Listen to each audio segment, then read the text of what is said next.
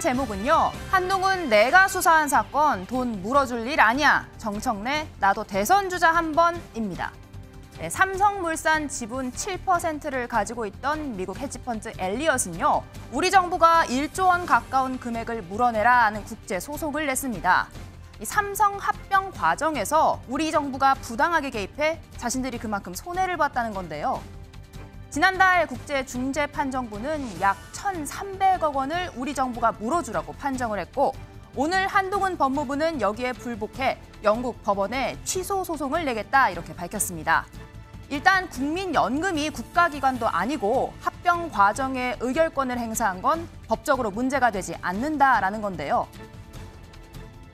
국민연금은 자기가 가지고 있는 상업적 지분권에 따른 의결권을 행사하는 것뿐이지 그 권한을 넘는 범위에서 누구에게 압력을 가하거나 그 권한을 초과하는 범위를 부당하게 행사하는 것이 아닙니다. 상업적 지분권의 행사는 동, 동기를 따지지도 않죠. 네, 하지만 앞서 엘리엇 이 사건 이 정부 관료들과 재벌의 부패한 유착이 투자자에게 피해를 끼쳤다라는 것을 확인한 승리다 이렇게 자평했습니다.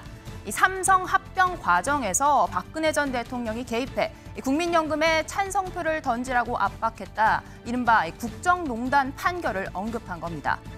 그러면서 이는 윤석열 대통령과 한동훈 법무부 장관이 검찰에 있을 당시 수사로 입증한 사실이라며 이번 결과에 승복할 것을 압박했습니다. 한 장관 오늘 이 점을 의식한 듯 이렇게 강조했는데요. 일부 공직자들이 국민연금의 의사 결정 과정에 부당하게 관여하려 한 행위로 유죄 확정 판결을 받은 사안과 관련된 사안입니다. 저는 음, 이 형사 사건을 수사해서 잘못을 바로잡는데 어, 실질적으로 관여한 사람입니다. 그렇기 때문에 더 선명하고 상당하게 이 사안은 대한민국 정부가 소수 주주 중에 한 명에 불과한 엘리엇에게 돈을 물어줄 사안이 아니라고 생각합니다. 네, 그러면서 잘못된 판정을 바로잡아 국민의 혈세가 낭비되지 않게 하겠다 이렇게 약속했습니다. 사실 엘리어 사건뿐 아니라요 6조 원대 배상금이 걸렸던 이 론스타 사건 한동훈 장관의 전문 분야 경제 금융 범죄인데요. 최근 한 장관 기업 경제 행보가 특히 주목받고 있습니다. 지난주 전남 조선소를 찾아 외국인 근로자 문제를 강조한 데 이어 이 주말엔 SK 최태원 회장의 초대로 대한상이 제주 포럼 강연에도 나섰습니다. 저는 국회에서 연설할 때 어, 저한테 야유하는 것에 굉장히 익숙하거든요. 그런데 어, 이렇게 어, 저를 반겨주시는 걸 보니까 좀 어색하기도 한데요. 어, 기분이 참 좋습니다. 예. 네, 한동훈 장관 이 자리에서요. 고 이병철, 최종현 회장 이름 등을 언급하며 결정적인 순간에 영웅들이 있었다 이런 메시지를 전하기도 했습니다. 개인적으로 저는 1950년의 농지 개혁이야말로 대한민국이 여기까지 오게 된 가장 결정적 장면 중 하나였다고 생각합니다. 이 농지개혁이 만석군의 나라였던 대한민국을 이병철, 정주영, 구인회, 최종현 회장과 같은 여러분들의 선배 기업인들이자 대한민국의 영웅들이 혁신을 실현하고 마음껏 활약할 수 있는 기업인의 나라로 바꾸는 대전환의 계기가 됐다고 생각합니다. 네, 이렇게 40분 동안 이어진 강연에서 기업인 혁신 덕분에 대한민국 성장할 수 있었다.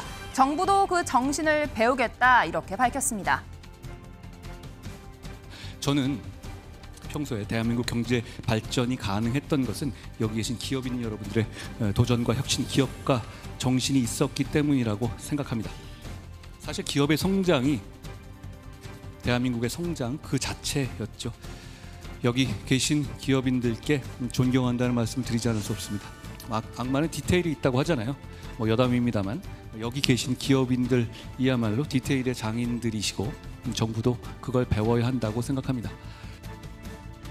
네, 이렇게 지역 일정의 재계 인사들과의 접촉, 동행무진 행보에 오늘은 한동훈 장관의 자객 공천, 정청래 의원과의 가상 대결 여론조사 결과가 나오기도 했습니다. 총선에 나서지 않을 것이란 전망도 이어지는 가운데 정 의원 못내 아쉬움을 표하기도 했는데요. 한동훈 장관이 자시, 그러니까 자기의 의지로 출마는 안 할 겁니다. 한동훈 장관의 입장에서는 지금 현재 대한민국 그 법치행 법치주의를 제대로 수행해야 되는 일종의 자기의 사명감이 있습니다. 그리고 끊임없이 이제 많은 변화를 주고 있고 음, 음. 또 성과를 거두고 있고 음. 그런 상황에서 본인이 정치에 뭐 이렇게 의지를 보이고 있지 아- 않다고 생각을 합니다. 저도 대선 주자 한번 이겨보고 싶은 생각이 왜 없겠습니까? 한동훈 마포울 자객 공천설이 나올 때는 보수 언론에서 많이 좀 음, 보도도 하고 떠들었는데 이런 경우는 이제 보도를 안 하고 조용히 있겠죠. 정청래 한동훈마저 꺾고 예. 뭐 이런 제목의 기사는 기대할 수 없겠죠. 타자도 토끼 예. 한 마리 사냥할 때 최선을 다하듯이 음. 저도 최선을 다하겠습니다. 낮은 자세, 겸손한 자세. 네, 김진희 변호사님 오늘 한동훈 장관 엘리엇 사건 판정에 취소 소송 제기하겠다 밝혔습니다. 이번 사건 패소하게 되면 국민 세금으로 1,300억 원 물어줘야 하는 상황이죠. 네, 일단 이 간단하게 설명을 드리면 이와 네. 같습니다. 그러니까 이제 중재재판부에서 판정을 한 핵심 내용은 뭐냐면, 그러니까 국민연금이 삼성물산하고 제일모직이 합병하는 데에서 의결권을 행사를 했는데, 네. 그러니까 중재재판부는 국민연금이라는 것은 사실상 국가기관이다. 그러니까 음. 사실상의 국가기관이고 이렇게 의결권을 행사한 거는 결국에는 정부의 조치로 볼 수 있다라는 것을 전제로 해서 이제 배상 책임을 이제 묻게 한 겁니다. 그렇죠. 우리나라에. 근데 이에 대해서 이제 법무부 입장은 뭐냐면 그 이제 의결권을 행사를 하는 게 다른 소수주주한테 어떤 문제가 된다 하더라도 이에 대해서 책임을 질 것이 아니기 때문에 음. 이렇게 국민연금이 의결권을 행사한 것이 어떤 조치를 행사한 것으로 볼 수는 없다. 그리고 FTA에서는 뭐 국가면 국가 아니면 아니지 사실상 국가기관이라는 것은 개념이 없는 것인데 음. 왜 국민연금을 사실상의 국가기관으로 봤다는 것은 어떤 의미냐 이것은 부적절하다라는 것이고요. 네. 또 이와 더불어서 어 이제 정부에서 역시도 그 국민연금에 대해서는 국가기관으로 보고 있지도 않다. 그렇기 때문에 이에 대해서 배상 책임을 부담하는 것은 부당하다는 어떤 취지로 지금 취소 소송을 진행 중입니다. 네, 서영주 부대변인님, 국민연금 국가기관은 아니다, 국가 배상 책임 없다라는 한동훈 장관의 브리핑 어떻게 들으셨습니까? 일단은 이제 우리 대한민국 법무부가 취소 소송을 하기 위해서는 규정을 네. 해야 되잖아요. 그래서 이제 국민연금이 국가기관이 아니다라고 해야만 취소 소송에 말하자면 법리가 구성된 거라고 봅니다. 하지만 국가기관은 맞아요. 국가 공공기관이고 나오면은 보건복지부의 산하기관입니다. 음. 그래서 국가의 연금을 국민에게 연금을 걷는 역할을 국가를 대신해서 하는 기관이 맞습니다. 네. 하지만 지금 현재 법무부에서 이제 주장하는 바는 이 국민연금을 국가기관으로서 인정을 하지 않아야 거기에 법리에 대한 소송이 하기 때문에 한동훈 장관은 이- 이걸 주장하고 있는데 저는 이 소송 자체가 과연 맞는지는 모르겠어요. 음, 예, 뭐좀 법리적으로는 뭐 청구할 수 있으나 네. 실리가 과연 있을까라는 음. 측면에서는 좀 지켜볼 필요가 있다 그래 보고 있습니다. 네, 김병민 좀 짧게 여쭙겠습니다. 네. 실리가 있는지 조금 의문스럽다. 취소 소송 지게 되면 지연 이자까지 또 내야 되는 상황인데요. 이런 결정 어떻게 보셨습니까? 한동훈 장관 입장에서는 매우 부담스러운 상황일 수밖에 없을 겁니다. 그리고 과거에 했던 이 수사 과정에 있는 내용들이 이른바 이번에 있었던 판결에 인용이 될 수밖에 없었던 상황까지 이어지고 있어서 그럼에도 불구하고 취소 소송에 나가겠다라고 자신 있게 얘기하고 있는 건 지금 판결에서 나왔던 내용들에 대한 허점에 대한 부분들이 분명히 존재하고 네. 여기에 대해서 대한민국 정부 입장에서 다툼의 여지가 있는 부분들을 가지고 아, 조금 더 유능한 변호사와 함께 한 번 다시 다퉈보게 됐을 음. 경우 우리 국민 혈세로 지금 천억 원이 넘는 돈이 나가야 되는 거거든요. 네. 그 금액을 막을 수 있다고 판단됐기 때문일 텐데요. 아마 이후에 진행되고 있는 소송에 대한 최종 결과에 따라서 네. 우리 국민의 혈세가 더 나갈 수밖에 없는 건지 아니면 음. 한 장관이 자신 있게 얘기하고 있는 방식처럼 한 천억 원 정도 이상 나가야 되는 국민의 혈세를 확 줄여낼 수 있는 건지 여기에 대한 정부의 유능함이 달려 있다고 생각합니다. 음. 네, 이 앞서 설명드린 대로 이번 사건 이 박근혜 정부의 국정농단 사건과 연관이 되어 있습니다. 이 때문에 국제통상 전문가는요, 이 잘못한 사람들에게 책임을 물어야 한다 이렇게 이야기하고 있는데요. 직접 들어보시죠.